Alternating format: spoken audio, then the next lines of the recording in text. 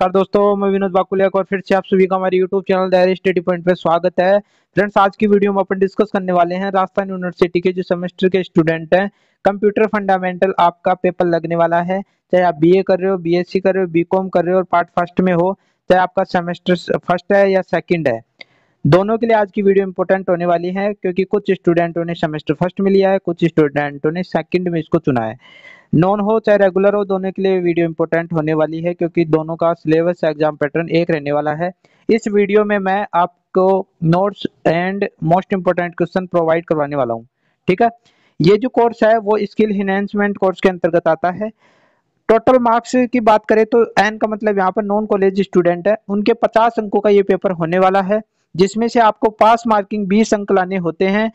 इसमें 50 क्वेश्चन आएँगे आपके ऑब्जेक्टिव क्वेश्चन चार ऑप्शन दिए जाएँगे। एक ऑप्शन आपको चुनना पड़ेगा जिस प्रकार कंपटीशन एग्ज़ाम में होता है। तो पचास क्वेश्चन आएँगे। एक क्वेश्चन एक अंकों का होगा।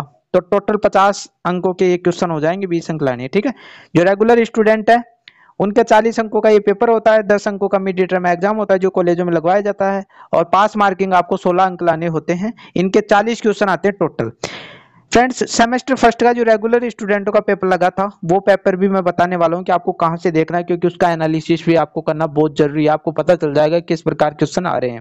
तो आइए वीडियो को स्टार्ट करते हैं। चैनल पर नए हो तो चैनल को सब्सक्राइब करो बेल आइकन को प्रेस करो, क्योंकि इस प्रकार की वीडियो मैं लाता रहता हूँ और आपको बहुत सारे नोट्स भी प्रोवाइड करवाता रहता हूँ। तो सिलेबस यहाँ पर राजस्थान यूनिवर्सिटी ने डाल रखा है, पूरा का पूरा यहाँ पर दे रखा है। दो क्रेडिट अब इस पर आपको जाना नहीं है। एक ही पेज में मैंने सारी सारी चीज़ें लिख दी हैं। रेगुलर स्टूडेंटों के लिए भी है ये।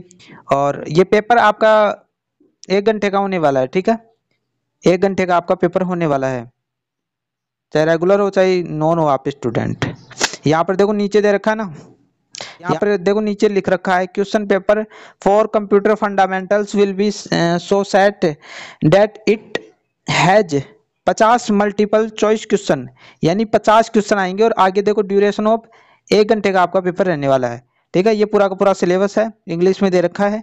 चार यूनिटों में आपका ये सिलेबस दे रखा है तो आपको कौन सी यूनिट पढ़नी है, जो आपके लिए ज़्यादा आसान होगी, ये आपका सिलेबस है, ठीक है? जो आपकी पहली यूनिट रहने वाली है, सूचना प्रौद्योगिकी का परिचय तथा ऑपरेटिंग सिस्टम ठीक है? दूसरी यूनिट है इंटरनेट एवं ईमेल तीसरी यूनिट है, सामाजिक कानूनी एवं नैतिक मामले, और चौथी यूनिट है साइबर सुरक्षा खतरे और नेटवर्क तो देखो, बहुत सारे स्टूडेंट है ना सेमेस्टर फ़र्स्ट में जो रेगुलर स्टूडेंटों का पेपर आया था, वो रिज़ल्ट आया था तो उसमें बहुत सारे स्टूडेंटों की, ज़्यादातर क्या ना, बैक लगी है ये। बैक लगने का कारण ये है कि उन्होंने क्या किया कि यूट्यूब पर है ना बहुत सारे यूट्यूब पर उन्हें वीडियो बना रखी थी। Most important question most important question पचास क्वेश्चन डाल दिए। आप सोचो, पचास क्वेश्चन में आ सकता है क्या? अब वो अपने हिसाब से बनाएँगे, वो जो पेपर बनाता है, वो अपने अनुसार सेट करता है क्वेश्चनों को और बीच में से देता है और अपने अनुसार है ना जो वो चार ऑप्शन सेट करता है। तो एक्यूरेट वो चीज़ें नहीं आती। तो इसके लिए आपको करना क्या आपका पेपर बैक नहीं, रहे। इसके लिए आपको थ्योरी पढ़नी है सबसे पहले तो। और मैं आपको क्वेश्चन भी प्रोवाइड कराऊँगा। पहले थ्योरी पढ़ो चैप्टर की उसके बाद में उन क्वेश्चनों को करो। बढ़िया तरीके से आपको कोई रोक ही नहीं है। रोकने वाला ही नहीं है। आपका पेपर बैक ही नहीं रहेगा ठीक है? तो यहाँ पर देखो ये चार यूनिट है। इनमें से सबसे ईजी यूनिट मेरे को ये दो लगी। तीसरा और चौथा। इसमें है ना जो सामाजिक कानूनी एवं नैतिक मामले आ जाते हैं जो आप बेसिक अंडरस्टैंडिंग होती है ना व्यक्ति के अंदर, उससे रिलेटेड ही होते हैं, ये कंप्यूटर से संबंधित तो आप आसानी से समझ पाओगे इन चीज़ों को। चौथा है साइबर सुरक्षा खतरे और नेटवर्क सुरक्षा। आप साइबर जो होते रहते हैं फ्रॉड होते रहते हैं, ये सारे के सारे मामले इसमें आएँगे। तो सबसे पहले तो आपको है ना, जो ये दो यूनिट आपको बढ़िया तरीके से पढ़नी है। इनके क्वेश्चन सॉल्व करने फिर थोड़ा माइंड बाहर कम होगा आपके। उसके बाद में ये भी पढ़ना है आपको। ठीक है? तो वीडियो को स्टार्ट करते हैं। अब अपन की मैन कहानी स्टार्ट होती है। थोड़ा मैं इसको सही कर लेता हूँ हाँ। अब सही हो गया। तो पहली यूनिट आपके सामने दिख रही है। ठीक है, वापस वो कब वो आ गया। हाँ ये। पहली यूनिट है सूचना प्रौद्योगिकी का परिचय ऑपरेटिंग सिस्टम तो इसमें मोटा मोटा आपको पढ़ना है, ज़्यादा डिटेल में नहीं जाना है। और ये आपको पढ़ना है, ये पीडीएफ में उपलब्ध करा दूँगा। और एक इम्पोर्टेंट बात है, आपको जो पेपर है, वो रेगुलर स्टूडेंटों का जो हुआ था, वो कहाँ मिलेगा? तो इस पर मैंने वीडियो बना रखी है और उसमें मैंने आंसर भी दिए हैं, क्योंकि पेपर तो आपको कहीं से मिल जाएगा, लेकिन उनके आंसर खोजना यानी बहुत टाइम लग जाता है, क्योंकि आपके पास इतना टाइम है नहीं। तो ये वीडियो है ना, जो या तो टेलीग्राम ग्रुप पर मिल जाएगा, या ये वीडियो जो देख रहे हो, उसके डिस्क्रिप्शन बॉक्स में टेलीग्राम ग्रुप का जो लिंक है, वो भी डाल रखा है तो ये पीडीएफ वहाँ से मिलेगी आपको। उसके बाद में उसके जस्ट नीचे है ना, उस डिस्क्रिप्शन बॉक्स में वो पेपर का जो लिंक है ना वीडियो की लिंक है वो मैं डाल दूँगा तो उसका एनालिसिस आप बढ़िया तरीके से कर लोगे। ठीक है? तो इतनी सारी चीज़ें समझा पाना एक वीडियो में संभव नहीं है। तो इम्पोर्टेंट क्वेश्चन ये जो चैप्टर है, इसके आगे ही इम्पोर्टेंट क्वेश्चन दे रखे हैं प्रैक्टिस के लिए। ठीक है? तो मैं आपको बता देता हूँ, उनके आंसर भी लास्ट में मिलेंगे आपको। ये सारी सारी चीज़ें आपके लिए लाई गई हैं। जो, जिन्होंने आर एस की है ना, उनके लिए थोड़ा ईजी हो जाएगा ये पेपर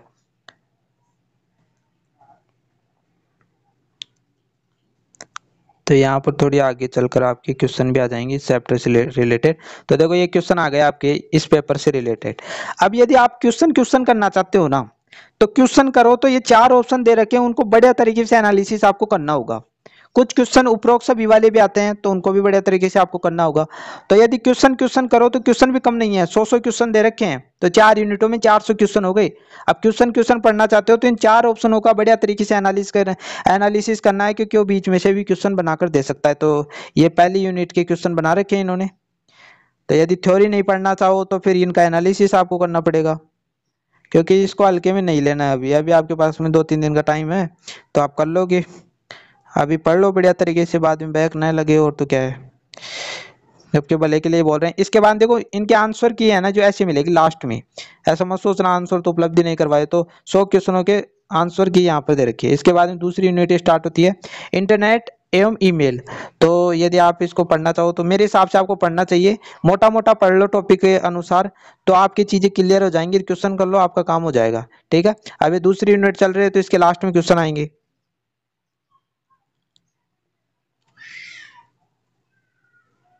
ये देखो लास्ट में क्वेश्चन आ गए। अब इनका जो जो थ्योरी है ना, उसी में से एक क्वेश्चन बनाकर दे रहा है। तो टोटल क्वेश्चन ये भी, ऐसे डरना नहीं है, ठीक है? धीरे धीरे सब हो जाएगा। नहीं पढ़ने से अच्छा तो थोड़ा बहुत पढ़ ही लिया जाए पास हो जाएँगे। क्योंकि बहुत सारे स्टूडेंटों की बैग अब की बार क्यों लगी है? यूनिवर्सिटी को दोष दे रहे हैं इसके पीछे। पढ़ते तो है नहीं। देखो, इसके अंदर है ना, जो सौ क्वेश्चन इसके अंदर दे रखे हैं। इनके आंसर की है ये, ठीक है? इसके बाद देखो, ये मेरे को ये दो टॉपिक है ना, इनसे आप पास हो सकते हो। सामाजिक कानूनी एवं नैतिक मामले, यहाँ पर है ना जो ये बड़े तरीके से आपको करना है, इसमें आपके समझने लायक चीज़ें हैं। ठीक है?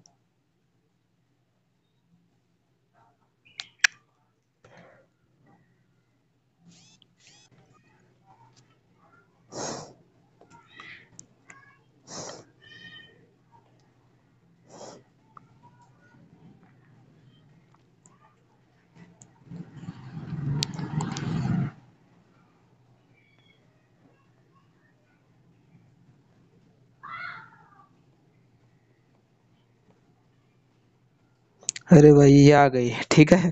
इसके बाद वस्तुनिष्ठ क्वेश्चन आ गए। तो इसमें इस प्रकार के उपरोक्त सभी वाले क्वेश्चन है ना, ज़्यादा पूछेगा तो आपको बढ़िया तरीके से करना है, ठीक है।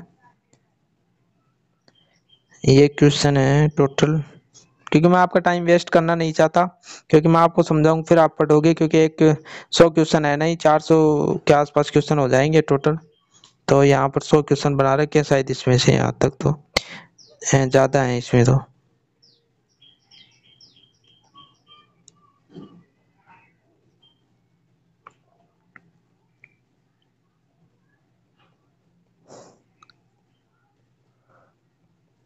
ये लो। इस, इसमें ज़्यादा क्वेश्चन पूछ सकता है वो तो 200 क्वेश्चन इसमें दे रखे हैं। तो आंसर की मैंने बढ़िया तरीके से बता दिया आपको। इसके बाद में चौथा है साइबर सुरक्षा खतरे और नेटवर्क सुरक्षा। तो इसमें भी इस प्रकार ही आपको मिलेगा लास्ट में।